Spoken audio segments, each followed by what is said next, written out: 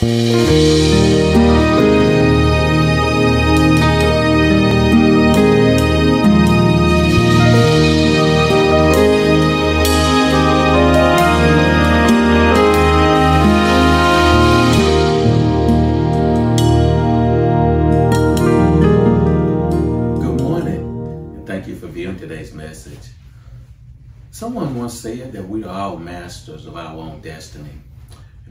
that we are in control of the path we take in life and that we have the ability within ourselves to reach our ultimate destiny. But the truth of the matter is that if you believe in Christ, your steps are ordered by the Lord. And God loves and cares for his own so much so that he actually takes pleasure in guiding our steps to reach the destiny he has for us. And in today's message title, The Low Road to High Places, we will see how God directed David's steps from being a lowly sheep to becoming a highly exalted king of Israel. But before we move on to our text, please bow with me in prayer. Gracious God, our Father, we come to you in the holy and in the mighty name of Jesus. And Lord, I pray that you will speak through me as you have me to speak to your people. And Lord, at the conclusion of this message, I pray that as believers that you will bless us to be encouraged to understand and know that adversity can shape our lives to have a better ending. In Jesus' name we pray. Amen. The scripture for today's message is found in 1 Samuel chapter 16, verses 11 and 12. Word of the Lord reads on this wise. And Samuel said unto Jesse, Are here all thy children? And he said, There remaineth yet the youngest, and behold, he keepeth the sheep. And Samuel said unto Jesse, Send and fetch him, for we will not sit down till he come hither. And he sent and brought him in. Now he was ruddy and withal of a beautiful countenance, and godly to look to. And the Lord said, Arise, anoint him, for this is he. Amen. The low road to high places. Our text for today is found in 1 Samuel chapter 16, verses 11 and 12. But let me give you a little background on what has taken place prior to our text. You see, the Lord had already given Israel what they asked for, which was a king like all the other nations. And his name was Saul. In 1 Samuel chapter 9, verse 2, Saul is described as the most handsome man in Israel, head and shoulders taller than anyone else in the land. And so Israel was overjoyed about Saul being the first king. But the problem was that although Saul looked the part of a king, you know, tall, dark, and handsome, he had failed miserably as the ruler of Israel. You know, there is an old saying, and I'm sure you've heard that says, looks can be deceiving. And I'm sure we're all aware that what you see is not always what you get. And that was the case with Saul. He had all the looks of a king, but he lacked the character, discipline, fortitude, and capacity to be a good king. And everything came to a head back in 1 Samuel chapter 13 when King Saul failed to do as the Lord had told him and he foolishly offered a burnt offering that the prophet Samuel was appointed to do. So this marked the beginning of the end of Saul's reign as king of Israel. And God said that he would raise up a man after his own heart to be captain over his people. And although Saul was to continue, ruling another 15 years, and at the time of Saul's rejection by the Lord, the future ruler was only a small boy whose name was David. And nevertheless, the Lord wanted the young boy anointed as the future king so that his preparation could begin and be guided by the prophet Samuel himself. From the very day of David's anointing, the Lord began to move events to prepare the young boy for future rule. And today we will see how David took the low road to high places. as we take a look at three different designations associated with David and his life. And they are first, a shepherd, second, a warrior, and third, a king. So let's start with the first outline a shepherd.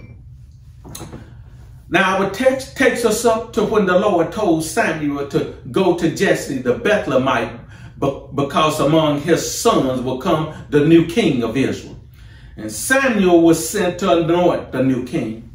And Jesse had a son named David, and he was who the Lord had designated to be the future king of Israel. Seven sons passed before Samuel.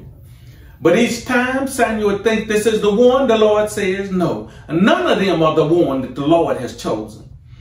So in verse 11 of our text, Samuel asked Jesse if he has more sons, and Jesse replies that the youngest is with the sheep. And David was Jesse's youngest of eight sons, and he was away tending the sheep.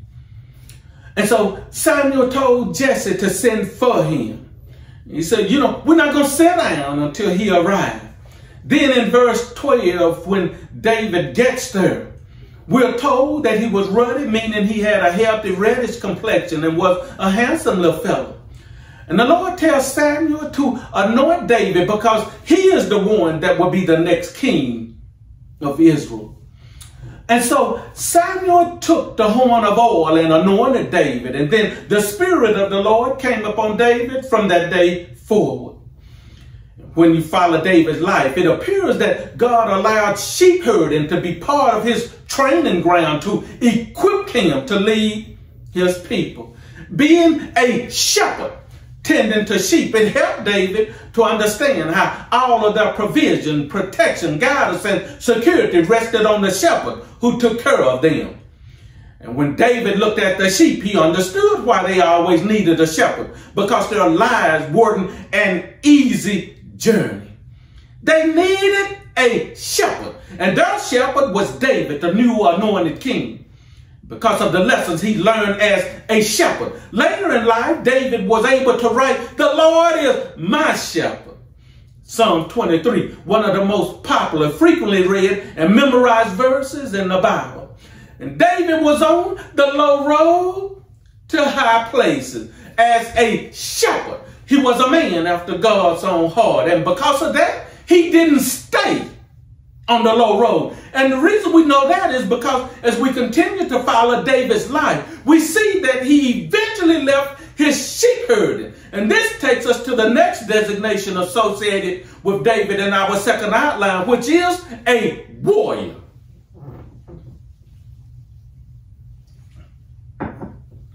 Now, our second outline, David becomes a warrior. The introduction of David as a great warrior is recorded in 1 Samuel chapter 17. A giant named Goliath and the Philistine army had invaded Israel at. The Israelites, they were shaken and terrorized by Goliath. And here's why. Goliath stood over nine feet tall. He wore a bronze helmet and his coat was made of scaled armor that weighed 125 pounds.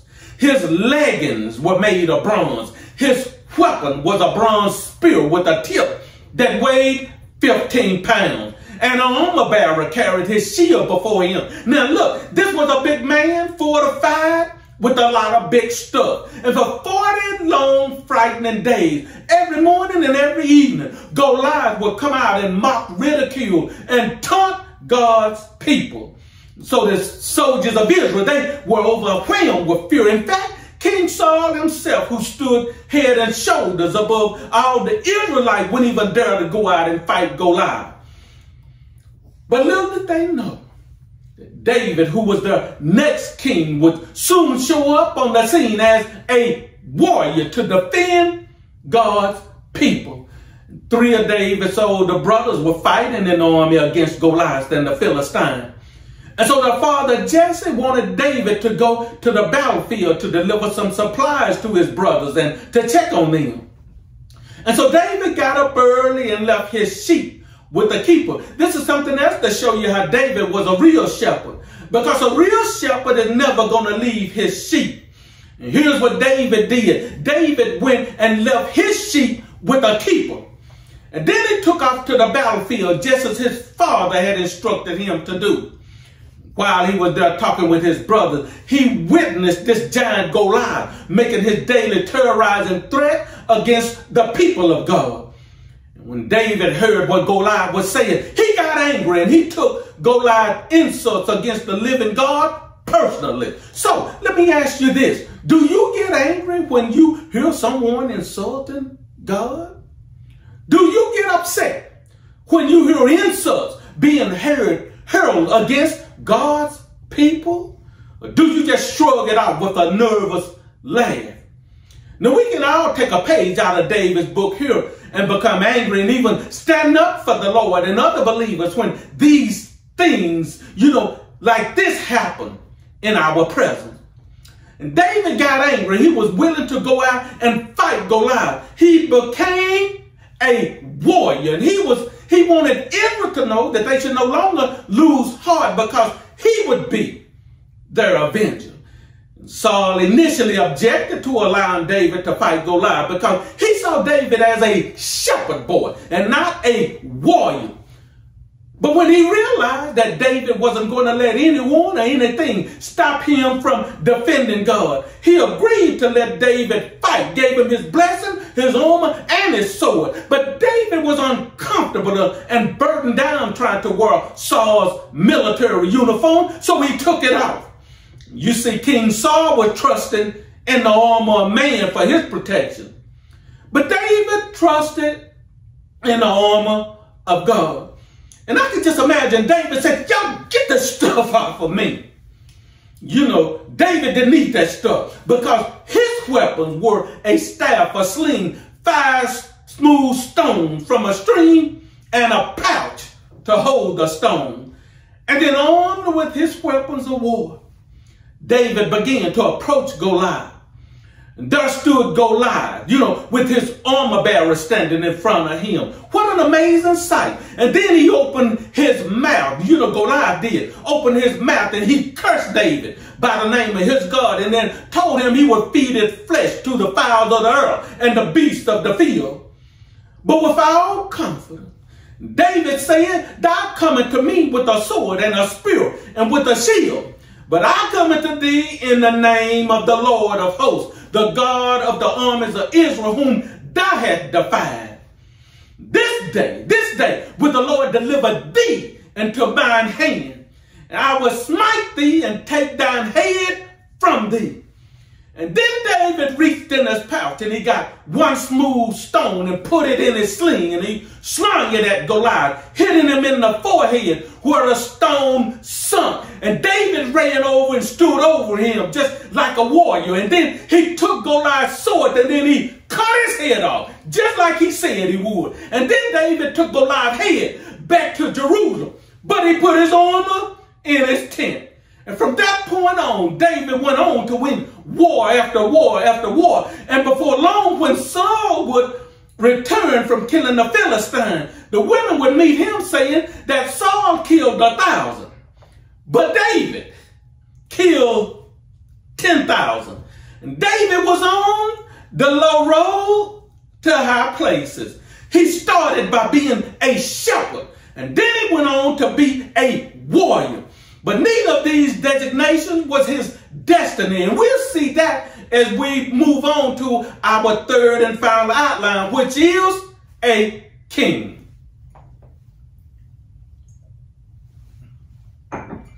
Third outline, a king. David rose as a warrior. Saul's downfall from his kingship continued to spiral downward. while Saul would be allowed to serve out the rest of his life as king. He was plagued by an evil spirit that tormented him and brought about his waves of madness. During the final years of King Saul's life, he spent much of his time and energy trying to kill David. And then it's recorded in 1 Samuel chapter 31 how the Philistines gathered for a huge battle against the Israelites. And eventually the Philistines, they killed Saul's sons including Jonathan, and critically wounded Saul. In his agony, Saul, he asked his armor bearer to kill him so that the Philistine would not be able to torture him. But out of fear, Saul's armor bearer refused. And so Saul fell on his own sword, followed by his armor bearer who did the same. And in 2 Samuel chapter 2, after Saul died on the battlefield after reigning for over 42 years in Israel, David didn't know what to do. So he prayed to God and he asked him for guidance. Here David shows us what we should do when we are faced with issues in life and we just don't know what to do. We should do like David and take our concerns and worries to the Lord. And David prayed to God and he needed the answer to two questions. First, he needed to know if he should return to Israel. And second, he needed to know if he returned to Israel, which town should he go? And you know what? The Lord, he answered the prayers of his seeking servant. And he told David to return to his homeland in Hebron. And on hearing this, David was filled within with excitement and great hope because he had been a fugitive on the low road to high places, fleeing from Saul's attempts against his life for over seven years, being forced to move from place to place, never being able to settle down and live in peace. But now David could finally return home safely, settle down, and begin to begin the task for which he had been appointed, a king ruling over God's people. When David returned home, leaders went and crowned him king of the tribe of Judah. And then in 2 Samuel chapter 5, some seven and a half years later, David was finally able to unify the nation of Israel under his rule at long last almost 20 years after being anointed as a child to be the future king, David was crowned to rule over all Israel. I mean, he ruled over all 12 tribes. Once crowned, once crowned king over all of Israel, David conquered Jerusalem, made the city the capital of Israel, land that has played such a large part in God's plan for, the, for human history. Now, in closing, lesson that we can all learn from David and his life is that the road that you start out on is not necessarily the road that you will end up on. And we saw this as David traversed three different roads during his lifetime, and they were first a shepherd. And as a boy herding his father's sheep, God gave David a living illustration of the depth and breadth of his abundant care for his people. Second, a warrior. David's battle with Goliath. This showed us how victory and triumph are promised to the person who trusts God and call upon his power for help. Third, a king. As a king, David was given the great promise of God, which was the Davidic covenant, which promised that his kingdom would last forever. And God promised to David and pointed to the coming son of David, none other than the Savior and Messiah of the world, the Lord Jesus Christ himself. And those, those who accept him as their personal Lord and Savior have the blessing and privilege of traveling on the low road to high places. Thank you, and may God bless you. Please bow with me in prayer. Gracious God, our Father, we thank you, Lord, for this passage of scripture in 1 Samuel chapter 16, looking at the beginning of David's call.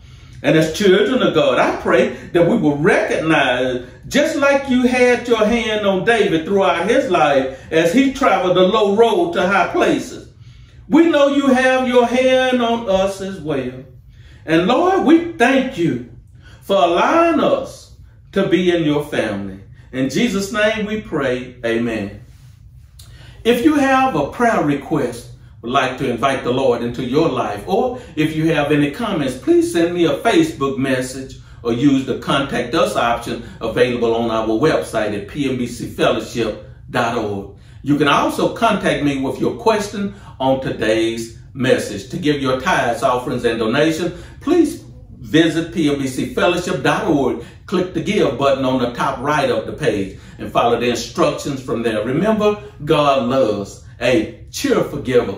Thanks again for tuning in. And just know that as a believer in Christ, you are never alone on the low road to high places because God is with you. Now, I look forward to you joining us next Sunday at 11 a.m. right here at the pastor's desk or on YouTube at PMBC Fellowship or seeing you in person for Sunday morning worship on site at Providence Missionary Baptist Church in Monte Albert, Texas, being in accordance with the CDC guideline. Until then, I want you to take care and may God bless you.